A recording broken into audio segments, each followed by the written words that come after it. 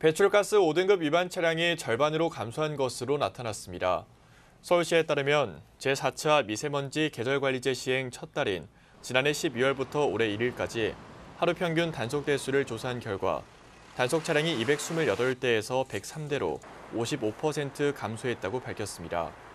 통행량 감소에 따라 초미세먼지와 질소 산화물은 3차 계절관리제 대비 29%와 25%씩 각각 감소했다고 시는 밝혔습니다. 한편 시는 올해부터 4등급 경유 차량에 대한 조기 폐차 지원을 시작할 예정이며 구체적인 지원 금액과 절차는 이달 중 발표할 계획입니다.